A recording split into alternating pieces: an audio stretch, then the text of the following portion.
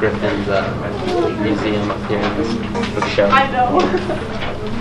Well, we have the presidents there. There's George and John Adams and Jefferson and Madison and our hero Ben Franklin and uh, Sam Adams. There's President Obama. There's Uncle Sam.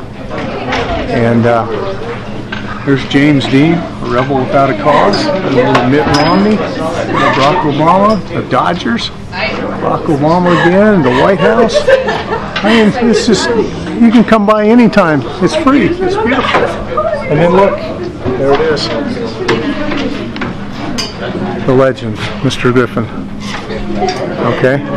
If you want to have great moments Salem Hills history, you come to my room. Look over here. We got wrestlers, we got people going to Washington. I mean, we, we got everything. And in case you're not familiar, there's an award you can ask me about concurrent enrollment. And most of you are in it, but isn't that beautiful? Ask me about concurrent enrollment. All right, it gets me excited. Okay.